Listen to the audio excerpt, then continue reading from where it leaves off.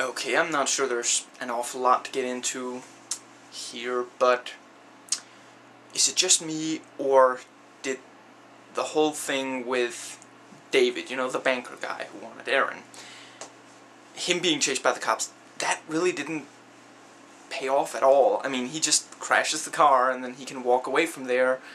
We never really see him being questioned. I mean, it seemed like he was driving too fast because he was really excited about, you know, getting it on with Erin.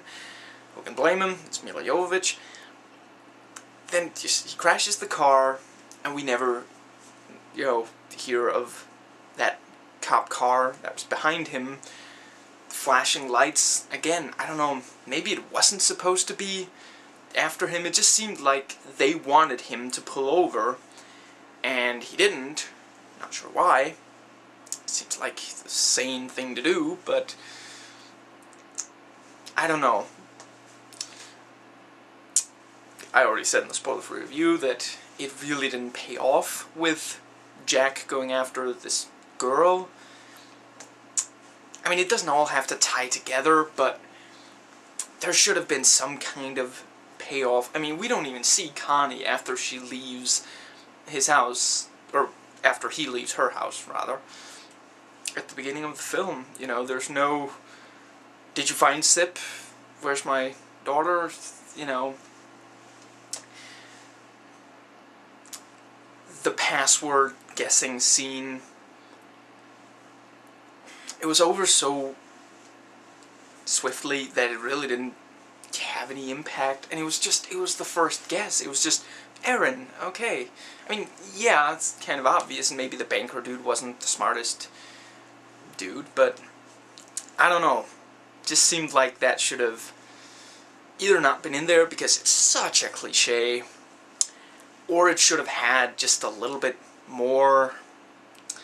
I also wasn't entirely clear on if the power outage was intentional, if it was that Hoop caused it, or maybe Hoop caused it unintentionally because, you know, he's not that smart. Maybe it was just random, you know, Murphy's Law kind of thing, and Tyrone then just said, come on, you can do this without the internet, right? You can do this without computers. I don't know. Some of these things seemed to be a little too easy to solve, maybe.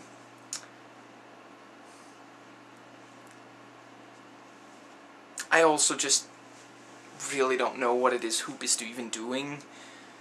Unless it is cutting the power to the computers, I don't know. Maybe that's it.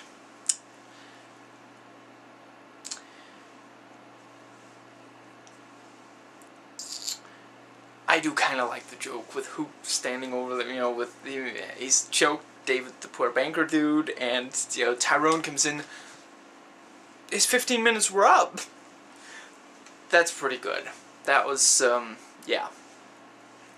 Doug Hutchison can be pretty funny when, yeah.